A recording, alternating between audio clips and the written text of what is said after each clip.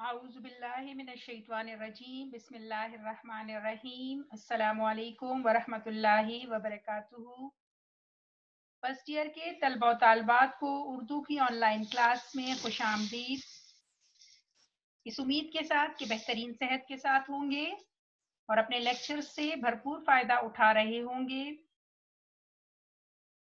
आज Urdu online class में हमारा सत्तारवा लेक्चर है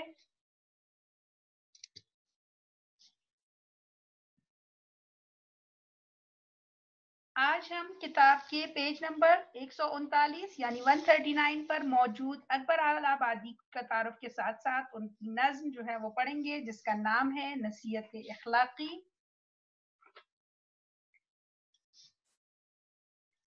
इससे पहले हमने मरसिया पढ़ा जैसा कि आप जानते हैं कि आपका सिलेबस जो है, वो कम कर दिया गया है। रिड्यूस सिलेबस के मुताबिक आप हमारी अगली नज्म जो है, वो हमारे पास अकबर आलाबादी की नसीहत अखलाकी है। दरमियान में कुछ नज़में जो है, वो हमने छोड़ दी है, क्योंकि वो आपके सिलेबस में अब शामिल नहीं है।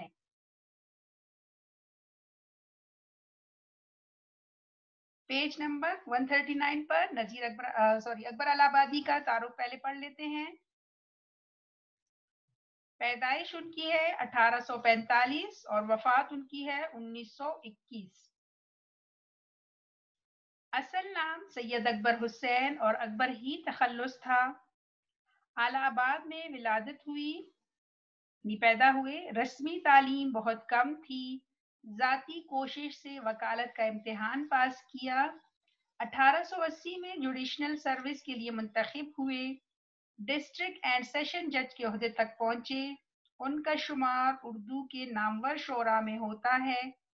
उनकी शायरी इम्तियाजी और इनफरादी खसूसियात की हामिल है और इनकी मकबूलियत का दारोमदार इनकी तंजिया और जरीफाना शायरी पर है। यानी मजाई और तंजिया शायरी करते थे अकबर ने अपनी शायरी का आगाज़ संजीदा कलाम से किया। था, लेकिन जल्द ही उन्होंने एक पयामी शायर का मनसब इख्तियार किया। यानी फिर उन्होंने अपनी शायरी को मुसलमानों तक पैगाम रसानी का ज़रिया बनाया। अंग्रेज़ जो तहजीब अपने साथ लाए थे, वो अकबर को सख्त नापसंद थी। चुनाचे कदीम तहजीब की हिमायत और जदीद तहजीब की मुखालफत, इनकी ज़िंदगी का नस्बैन रहा। यानी तमाम उम्र उन्होंने मुखालफत की, अंग्रेज़ों की तहजीब की। अकबर बहुत बेखौफ आदमी थे। सरकारी मुलाजिम होने के बावजूद अंग्रेज़ी तहजीब तमदन पर सख्त तनकीद करते रहे। इस सिलसिले में आने वाली मुश्किल का अंदाज़ा लगाते हुए उन्होंने तंजो जराफत का अंदाज इख्तियार किया। ठीक है, यानी मजाहिया अंदाज में तंज करते थे, क्योंकि खुद सरकारी मुलाजिम थे और उस वक्त अंग्रेज़ों की हुकूमत थी। लेकिन अंग्रेज़ों की हुकूमत, यानी उनके सरकारी मुलाजिम होने के बावजूद वो अंग्रेज़ों पर तनकीद करते थे, इसलिए उन्होंने जरीफाना रंग अख्तियार किया। उनके अंदाज और असलूब ने ऐसी आलमगीर शोहरत हासिल की कि आज भी लोग उन्हें लिसानुल असर के नाम से याद करते हैं, यानी अपने जमाने के एक बहुत बड़े जबानदार। अकबर आलाबादी ने 1921 में आलाबाद में वफात पाई। मजमुआ कलाम कुलियात अकबर के नाम से शाया हो चुका है।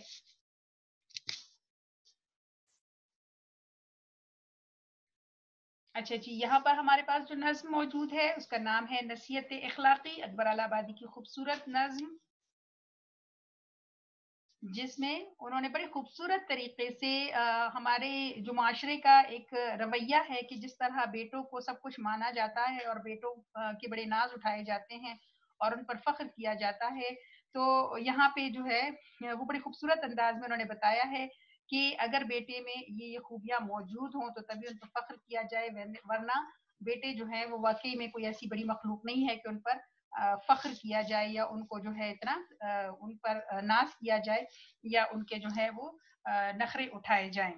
ठीक है जी तो बड़ा खूबसूरत तरीके से उन्होंने बेटे के अंदर की खूबियों का ज़िक्र किया है कि एक बेटे में, एक अच्छे बेटे में क्या क्या खूबियाँ होनी चाहिए तो तभी जाकर वो बेटा जो है वो माँ बाप की आँखों का तारा बन सकता है या तभी वो बेटा जो है वो फख्र के लायक हो सकता है। बेटे को कहते हैं, आँखों का नूर है है ज़िंदगी का लिफ्त, दुल का सुरूर है, घर में इसी के दम से है हर सिमत रोशनी नाजा है इस पे बाप तुमा का गुरूर है। खुशकिस्मती की इसको निशानी समझते हैं, कहते हैं ये खुदा के करम का जहूर है। यानी अल्लाह ताला का जब करम होता है तो तभी बेटा नवाज़ दिया जाता है। ठीक है जी, अब तो पहले में अगर हम देखें तो उसमें ये कह रहे हैं कि आम तौर पर बेटे को जो है वो बहुत अहमियत दी जाती है, उसे बड़ा प्यार किया जाता है और उसे जो है लोग अपनी आँखों का तारा करार देते हैं, दिल का सुकून करार देते हैं। और वो कहते हैं कि इसकी तरफ़ से इसकी वजह से ही ज़िंदगी का लुत्फ है और ज़िंदगी या घर में हर तरफ़ उजाला है और बेटी की वजह से ही दिल जो है वो मुतमिन रहता है। और, ऐसा असल में इसलिए भी होता है क्योंकि हमारे यहाँ जो रिवाज है या हमारे यहाँ की हम कह सकते हैं कि हमारी तहजीब तमदन का हिस्सा रहा है कि वालदेन हमेशा उनको तो होती है कि बुढ़ापे में इनका ख्याल रखने वाला वो उनका बेटा ही होगा।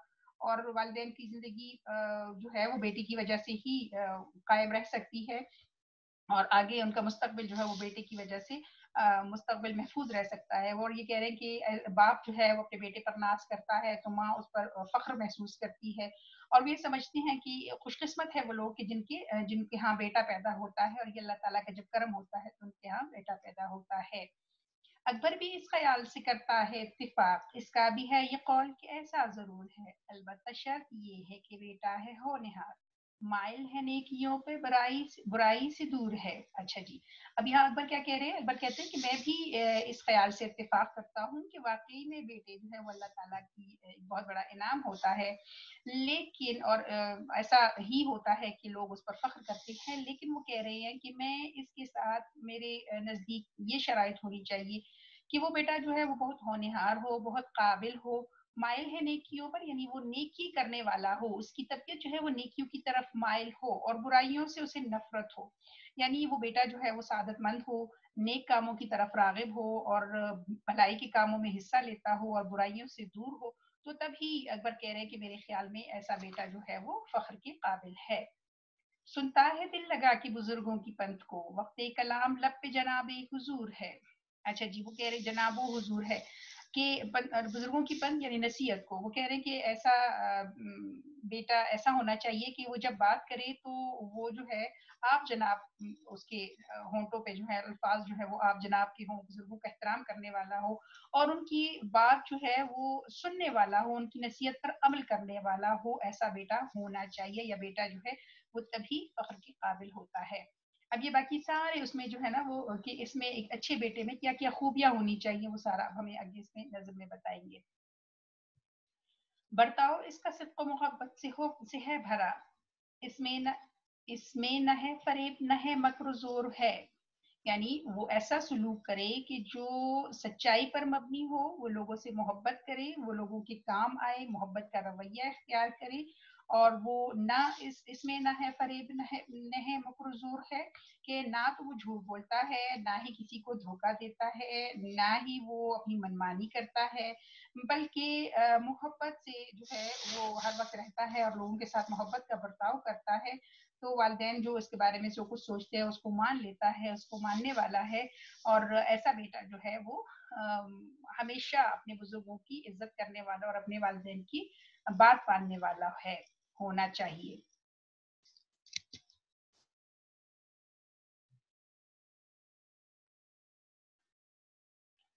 अफकार वालदेन में है दिल से वो शरीक। हमदर्द है मोइन है, अहले शूर है।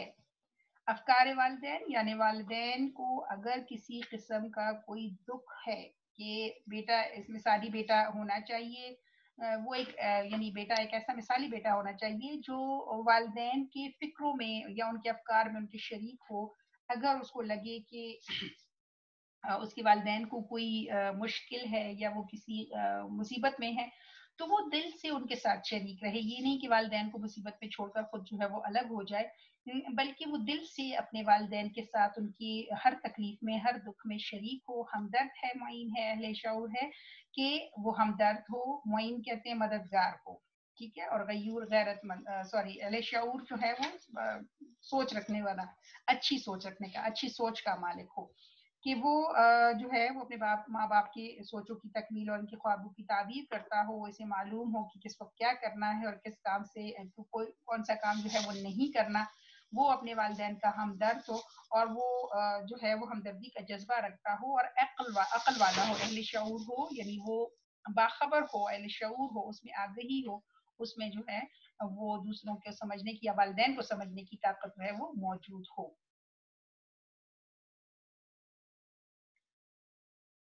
राज़ी है इस पे बाप कि जो कुछ हो मसलहत साबिर है बा अदब है अकलो गयूर है। अच्छा जी, अब वो कह रहे हैं कि वो अपने बाप की हर मसलहत पर राज़ी हो। बाप इसे जिस रास्ते पर चलने के लिए कहता है, वो खुशी अख्तियार कर लेता हो और वो अपने वालिद की रजा पर राज़ी रहने वाला हो। वो हमेशा जो है वो सब्र करने वाला हो, बाअदब हो, अकल अकल वाला हो और गयूर हो, गैरतमंद हो कि जो कुछ बाप ने कहा उसका मान रखे, उसकी बात को जो है वो माने और बाप की रजा में खुश रहने वाला या राज़ी रहने वाला बेटा जो है वो होना चाहिए। रखता है खानदान की इज़्ज़त का वो ख्याल। नेकियों का दोस्त बस नेकियों का दोस्त सोबत बद से नफूर है, सोबत बद से नफूर है, नफूर उकताया हुआ, इनकार करने वाला। अच्छा जी, अब वो कह रहे हैं कि बेटा जो है वो ऐसा होना चाहिए कि जो खानदान की इज़्ज़त का ख्याल रखे, यानी वो ख्याल, ऐसा बेटा जिस पर फख्र किया जा सकता है, वो खानदान की इज़्ज़त का ख्याल रखता है वो नेक लोगों में उठता बैठता है, खुद भी नेकियों को पसंद करता है और दूसरे जो नेक लोग होते हैं या नेक दोस्त वो बनाता है और इसी तरह सोहबत बद से नफूर है, यानी बुरी सोहबत से खुद को बचाता है और वो उसे नापसंद करता है, बुरी लोगों की सोहबत में उठता बैठता नहीं है, बल्कि वो हर वक्त अपने अपने खानदान की इज़्ज़त का ख्याल रखता है। कस्बे कमाल की है शबो रोज, इस, इसको धुन, इल्मो हुनर के शौक का दिल में का दिल में वफूर है। अब यहाँ पे कह रहे हैं कस्बे हलाल यानी उसको हलाल रोजी कमाने की उसको हर वक्त फ़िक्र रहे, वो जो है, वो हलाल रोजी कमाए, तरक्की के काम में कस्बे कमाल यानी अच्छा तरक्की के काम जो हैं या खुद को तरक्की देने के कामों में मसरूफ रहे और उसको जो है इल्म शौक इल्म, हुनर हासिल करने का शौक हो और दिल जो है नफरत करे दिल में वफूर है वफूर जो है, भरा हुआ है। ठीक है जी? कि उसका दिल जो है, वो कसरत यानी वाफिर मकदार में शौक उसमें मौजूद हो कि वो कोई इल्म हासिल करे, कोई हुनर हासिल करे और ख़ुद को तरक्की देने का जज्बा जो है, वो उसके दिल में मौजूद हो। वो शब रोज़ यानी दिन, रात जो है, वो उसी मेहनत में लगा रहे कि वो तरक्की हासिल करे और यही इल्म शौक जो है, वो उसके दिल के अंदर बहुत बड़ी कसीर उसमें जो है, वो मौजूद हो। लेकिन जो इन सिफात का मतलब नहीं पता, लेकिन जो इन सिफात का मतलब नहीं पता, वो फिर भी खुशी है तो खुशी का कसूर है, और फिर भी है खुशी तो खुशी है का कसूर है। अब आखिर में कह रहे हैं कि जिस बेटे में ये तमाम खूबियाँ जो उन्होंने ऊपर बयान की है कि वो हम दर्द हो, वालदेन की फ़िक्र में साथ रहने वाला हो नेकियों की तरफ़ जाने वाला हो, बुराइयों से नफरत करने वाला हो, एहसास करने वाला हो, मोहब्बत करने वाला हो और इल्म का शौक रखने वाला हो, तरक्की के जज्बा उसके दिल में मौजूद है। अगर ऐसा बेटा है तो फिर तो ठीक है। फिर तो उस पर फख्र करना चाहिए और उसकी पैदाइश, यानी उस पे उस पे बेटे होने पर जो है, वो फिर फख्र करना बनता है माँ बाप का कि उस पर ऐसे बेटे पर वो फख्र करे जो होनहार है, काबिल है, जिनकी बात मानता है।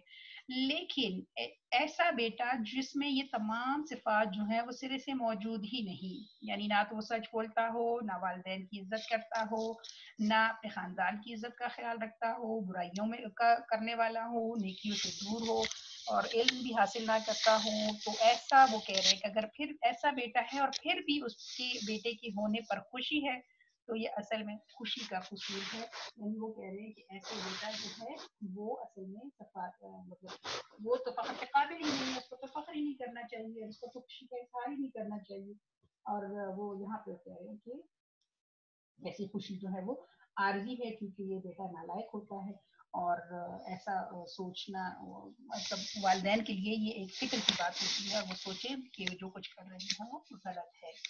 कुलियात अकबर हिसावर से ये नाजिम जो है वो ली गई है। अच्छा जी मश देख लेते हैं। इस नज़र में अकबर अलाबादी ने होनहार बेटी की क्या खसूसियात बताई हैं। वो आपने सारी लिखनी ली है, और खुलासा है। फिर जी, आपने इन इन अल्फाज को मायनी लिखने हैं और जुमले बनाने हैं। न्याजा, फख्र करना, जहूर, ज़ाहिर होना, मकरो मकरो ज़ोर धोखा फरेब, कस्बे कमाल, तरक्की का जज्बा, अहल शूर आगही या खबरदार होना या सोच रखना। मरकजी ख्याल जी, ज़ाहिर बात है यही है कि बच्चे जो है वो उसका मरकजी ख्याल यही है कि बेटा तभी एक नेमत तस्वर किया जा सकता है जब उसमें अच्छी खूबियाँ मौजूद हो, लेकिन अगर बेटे में खूबियाँ ना हो तो फिर उस पर फख्र नहीं करना चाहिए। कवाफी, जैसे कि आपको पता है, काफिया की जमा है, कवाफिया मावाज अल्फाज हैं, वो आपने ढूँढने हैं।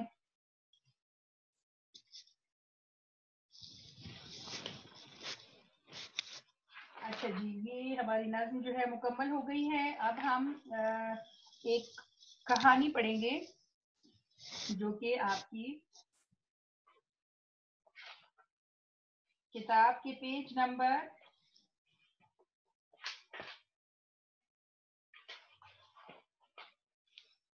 पेज नंबर 101 पर एक कहानी मौजूद है। आ, बस हम इसकी रीडिंग कर लेते हैं। इसमें लोक कहानी है। आपने पता है आपको लोक कहानी क्या होती है थोड़ा सा शुरू में आपको ये है लालची वज़ीर इसका ये तर्जुमा किया गया है ये बशीर अहमद बलोच जो है उसका तर्जुमा करने वाले हैं।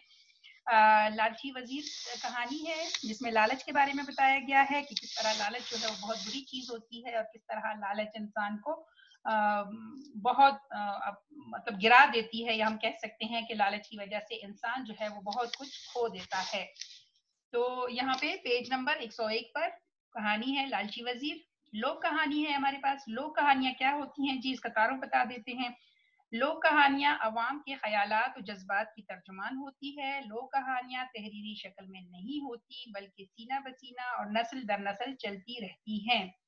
मुख्तलिफ़ माशरों खत्ों और इलाकों के समाजी, माशी, सियासी और माशरती हालात इन पर नज़रअंदाज होते हैं। ये भी मुमकिन है कि एक ही कहानी कुछ तब्दीलियों के साथ मुख्तलिफ़ इलाकों में राइज हों। लोक कहानियों में मजहबी और दीनी अकायद के बज, की बजाय खुश एतकादी और ज़यीफ़ुल का अमल दखल ज़्यादा होता है। लोक कहानी के ज़रिए किसी भी मखसूस इलाके या खत्े में बसने वाले लोगों के रस्म रिवाज तौर तरीके ज़िंदगी गुजारने के ढंग और सकाफती अकदार और रवायात का इजहार होता है। शामिल निसाब की कहानी, बशीर अहमद बलोच की मुरतब करदा किताब, बलोची लोक कहानी से ली गई है। इस कहानी का असलूब सादा और अवामी है और यही असलूब किसी लोक कहानी का खासा होता है। यानी लोक कहानी जो है वो लिखी फॉर्म में नहीं होती, बल्कि ये सीना बसीना चलती रहती हैं और कुछ मुसनफिन फिर जो होते हैं उनका तर्जुमा करके उनको उर्दू अदब में उन्होंने शामिल किया है और इस तरह उर्दू अदब में बहुत सी लोक कहानियाँ जो है वो शामिल की गई हैं। पेज नंबर 101 पर कहानी शुरू करते हैं। एक बादशाह था, इसने अपने वज़ीर से कहा कि मुल्क में सबसे खराब चीज़ कल सुबह मुझे ला दो। वज़ीर अपने घर आया तो सोच सोच कर काफ़ी परेशान हो गया कि मालूम नहीं सबसे खराब चीज़ कौन सी है। बादशाह तो कल मुझे मार डालेगा। वज़ीर इसी गम में शहर से भाग भाग निकला और एक वीराने में पहुँच गया। इसने बकरियों का रेवड़ देखा, गडरिया इसके साथ है और कोई नहीं। वज़ीर ने देखा कि सारी बकरियों के गले में सोने की घंटियाँ पड़ी हुई है। वज़ीर ने गडरिया से पूछा कि तुम्हारी बकरियों के गले में ये क्या पड़ा हुआ है?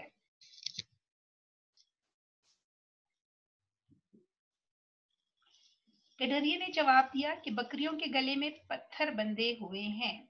वज़ीर ने पूछा, ये पत्थर कहाँ से मिलेगा? मुझे वो जगह बताओ। गडरिया ने कहा, रात को मेरे साथ चलो। जब सुबह होगी तो वो मैं तो मैं वो पहाड़ तुम्हें बतलाऊँगा। वज़ीर गडरिये के साथ हो लिया, रात हो गई, गडरिये के घर में ठहरा। गडरिया अपनी गडरिया अपनी बकरियों के पास ही सो गया। आधी रात को जब वज़ीर की आँख खुली तो उसने देखा कि गडरिया बैठा कुछ पढ़ रहा है। वज़ीर उठकर गडरिया के पास आ गया। उसने देखा कि गडरिया के सामने एक बकरी सो रही है और गडरिया कह रहा है सुबहान अल्लाह गडरिया वजीफा पढ़ता रहा और रात खत्म हो गई।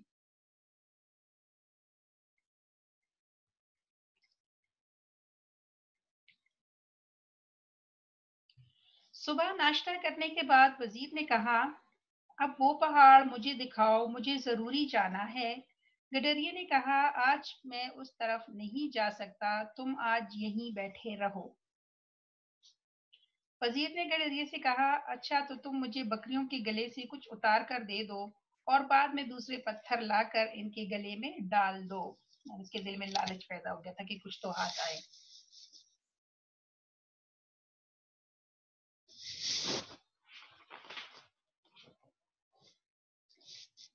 गडरिया ने कहा, मैं अपनी बकरियों का दूध जिस बर्तन में कुत्ते को पिलाता हूँ, तुम भी दूध उस बर्तन में पियो जिस तरह कुत्ता पीता है।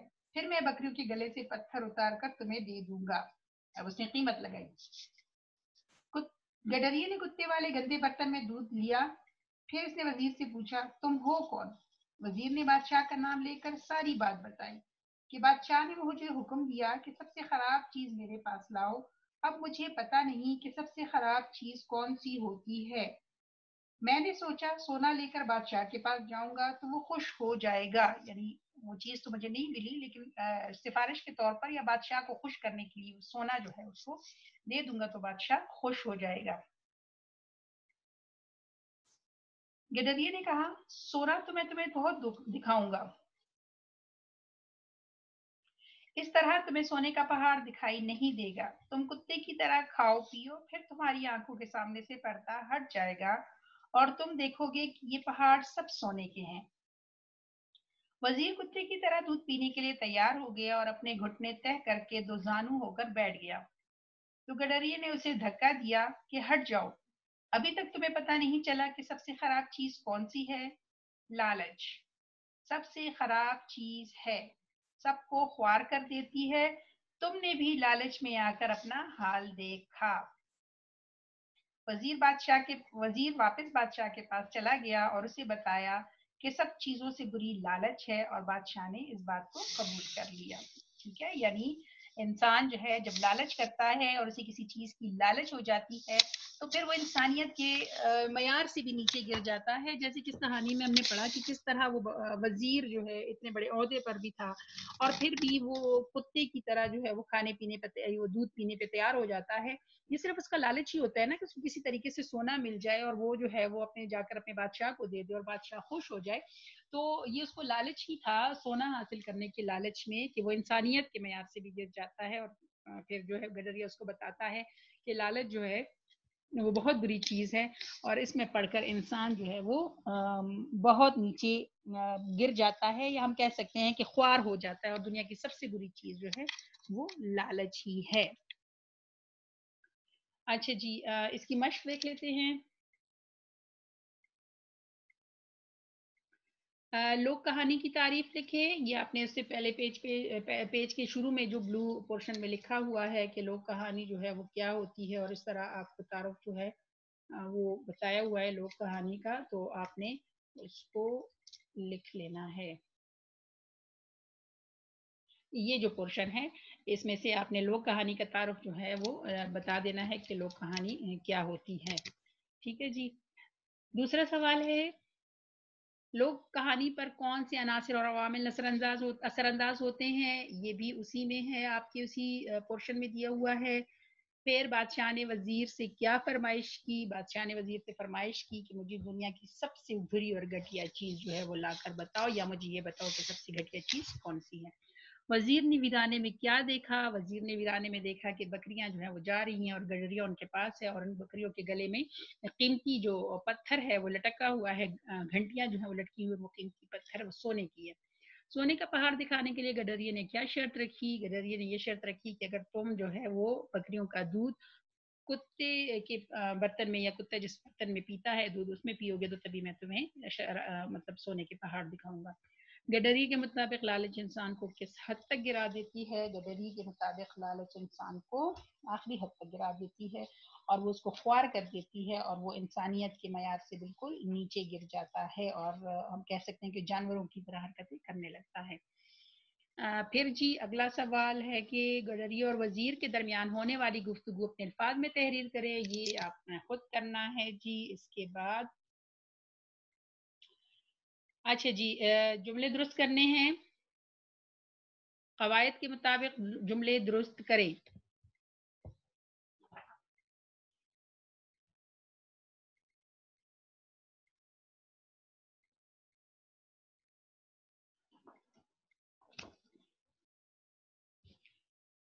पहला है, वज़ीर तैयार हो गया कुत्ते की तरह दूध पीने के लिए। इसको हम करेंगे वज़ीर कुत्ते की तरह दूध पीने के लिए तैयार हो गया। अगला है दुनिया की सबसे बुरी चीज़ है लालच। लालच दुनिया की सबसे बुरी चीज़ है या दुनिया की सबसे बुरी चीज़ लालच है। इसको हम इस तरह लिखेंगे। फिर वज़ीर की जब आँख खुली आधी रात को आधी रात को वज, को जब वज़ीर की आँख खुली आधी रात को जब वज़ीर की आँख खुली इसको इस तरह ठीक करेंगे। फिर कुत्ते वाले गंदे बर्तन में गडरिया ने दूध धो लिया। गडरिये ने कुत्ते वाले गंदे बर्तन में दूध धोया। ठीक है जी? फिर वो दुजानू होकर अपने घुटने तय करके बैठ गया। वो अपने घुटने तय करके दो जानू होकर बैठ गया। ये जो है, आपके जुमले दुरुस्त करने हैं। अच्छा जी, एक और चीज़ आपको इकतबास दिया हुआ है। जैसे आपको पेपर पैटर्न के शुरू में जब मैं बता रही थी तो आपको मैंने बताया था। कि एक सवाल आपका ये भी होता है कि पैराग्राफ आपको दिया होता है और आपको कहते हैं कि इसका एक मतलब इसका इकतबास करें या इसकी तलखीस करें, इसको छोटा करके लिखें तो यहाँ पे आपको एक पैराग्राफ दिया हुआ है। तो पैराग्राफ की तलखीस जो है या उसको खुलासा करना या उसको छोटा करके लिखना, उसका सबसे जो मेन तरीका होता है वो ये होता है कि आप इसकी लाइनें गिन लें। ज़ाहिर बात है अल्फाज तो गिनना बहुत मुश्किल हो जाता है। आप लाइनें गिने। अगर आपके पास नौ लाइनें हैं तो चूँकि आपको कहा जाता है कि एक तहाई करें, यानी उसको तीन पर डिवाइड कर ले। अगर आपके पास नौ लाइनें हैं तो आपने अपनी जो इकतबास है या जो इबारत लिखनी है, वो तीन लाइनों से ज़्यादा नहीं होनी चाहिए। ठीक है? इसमें से जो आप इसके अपने अल्फाज भी इस्तेमाल कर सकते हैं, जो अल्फाज उस इकतबास में दिए होते हैं, आप उनको भी इस्तेमाल कर सकते हैं। और कुछ बहुत सारे लफ्ज़ों को मिलाकर आप एक लफ्ज़, एक सॉलिड जो है ना, एक अच्छा सा लफ्ज़ जो है उसका भी बना सकते हैं। यहाँ पे अगर हम इसको पढ़ेंगे, ये देखिए, ये आपकी एक, दो, तीन, चार, पाँच, छ, सात, आठ, नौ, ये आपकी तकरीबन नौ लाइनें बन रही हैं तो आपने इसको ज़्यादा से ज़्यादा आपकी, क्योंकि आपके पास तो ये जब आप, अगर हम देखें तो जो पेपर पे आएँगी तो ये कम से कम आपकी दस, ग्यारह लाइनें होंगी तो आपने उनको इकतबास करना है और उसके लिए अच्छा सा वो कहते हैं कि आपने उनवान जो है वो भी लिखना होता है। तो ये आपको मैंने थोड़ा सा नमूने के तौर पे आप उसका अनवान लिखेंगी, ढीठपन का मुजाहरा, और फिर आपने उसको जब तलखीस किया, आखिर मैंने भी ढीठपन का मुजाहरा किया, सोचा कि अगर पिटना ही मेरी किस्मत में लिखा है तो फिर काम करके अपने आप को क्यों थकाऊं? अगर निकम्मे का खिताब मिलता है तो मिलता रहे, चुनाचा सब मुझ पर चीखते, चिल्लाते, लेकिन मुझ पर कुछ असर नहीं, कोई असर ना होता। और अगर कोई ज़रा भी हाथ लगाता तो आसमान सर पर उठाता। लेकिन इतना ढीठ बनने के बावजूद भी छोटी साहबजादी मुझसे तेज निकली, वो मुझे मारती और खुद रोना शुरू कर देती इसलिए मैंने उनसे तंग आ गया मैं उनसे तंग आ गया था। लेकिन जब बेगम साहिबा उस पर गुस्सा होती तो मैं भी तो मैं और भी चुगली खाकर उनके गुस्से को हवा देता। कभी इसमें मैं कामयाब होता और कभी चुगली खाने पर खुद पिटता। यानी तमाम जो पैराग्राफ है, उसका खुलासा करके आपने लिख लेना है और आपने कोशिश करनी है कि जितना मुख्तसर उसको कर सके, मुख्तसर जो है उसको लिखने की कोशिश करेंगे। ठीक है जी? और आप जब भी आप तलखीस करते हैं तो उनवान जो है, जब आप उस पैरा को या उस इकतबास को पढ़ लेते हैं तो खुद ब खुद आपके जहन में आना चाहिए और ये उनवान जो है अक्सर आपको इकतबास की शुरू की लाइन में मिलेगा या फिर आखिर की लाइन में होगा। या अगर आपको कहीं कोई समझ नहीं आ रहा तो आप इस पैराग्राफ को एक दो दफ़ा पढ़ेंगे तो आपके जहन में कोई ना कोई उनवान जो है वो खुद ब खुद आ जाएगा। और फिर ये कोशिश करें कि वही अल्फाज जो है उनको, यानी जो आपको लगे कि किसी बात की बार बार वजाहत की गई है या एक ही बात को दो तीन दफ़ा दोहराया गया तो उसको काट दें उन अल्फाज को निकालते जाएँ और एक सॉलिड चीज़ जो है उसमें से निकालें तो आपकी तलखीस जो है वो मुकम्मल हो जाएगी और एक अच्छी किस्म की हम कह सकते हैं कि आप उसका इकतबास की तशरी कर सॉरी खुलासा कर सकेंगे या उसकी तलखीस कर सकेंगे। तलखीस कहते हैं खुलासा करना छोटा करना। ठीक है जी? तो आपने देखा कि किस तरह आ, मतलब एक दस ग्यारह लाइनें अगर आपकी हैं तो उनका आपका चार से, तीन से चार लाइनें जो हैं, वो आपकी तलखीस हो जानी चाहिए। आप इस चीज़ की प्रैक्टिस करनी है, आपके पास बहुत सी किताबों में ऐसी चीज़ें मौजूद होती हैं, आपके पास पैराग्राफ्स होते हैं, आप कोशिश करें कि इनको जो है वो छोटा करने की और इसकी प्रैक्टिस करें। पेपर में हमारे पास एक तो सवाल होता है कि आपको छोटा, थोड़ा सा दिया होता है और उसको कहते हैं आप तशरी करें, जिसको हम तशरी भारत कहते हैं, ठीक है? एक तो वो चीज़ होती है जिसका पूरा एक पैटर्न होता है और एक जो है हमारे पास अभी इस तरह का सवाल भी आपके पेपर पैटर्न में शामिल है कि आपको पैराग्राफ दिया होता है और आपने उसकी तलखीस करनी होती है, यानी उसको छोटा करके लिखना होता है। ठीक है जी, अल्हम्दुलिल्लाह दोनों चीज़ें जो हैं आज मुकम्मल हुई। एक हमने नज़म पढ़ी, अकबर अलाबादी अकबर अलाबादी की अलाबादी की कि हमने नसीहत अखलाक़ी पढ़ी कि किस तरह बेटे की खूबियाँ बयान की गई हैं और फिर हमने एक कहानी पढ़ी जिसमें लालच के बारे में बताया गया कि दुनिया की सबसे ख़राब चीज़ जो है वो लालच है। तो ये दोनों चीज़ें अल्हम्दुलिल्लाह हमारी मुकम्मल हो गई हैं। अपना बहुत सारा ख्याल रखें, हमें भी दुआओं में याद रखें, कोशिश करें जो काम दिया जाए वो वक्त पे करें। उर्दू को लाइट ना लें, उर्दू में नंबर आना फ़र्स्ट ईयर में बहुत मुश्किल होता है। लिहाजा अभी से थोड़ा थोड़ा पढ़ लिया करें, कोशिश करें, अपनी प्रैक्टिस में रखें उर्दू को। लिखना जो है स्पेशली लिखते रहें तो आप प्रैक्टिस होगी। इजाज़त दीजिए लाफिज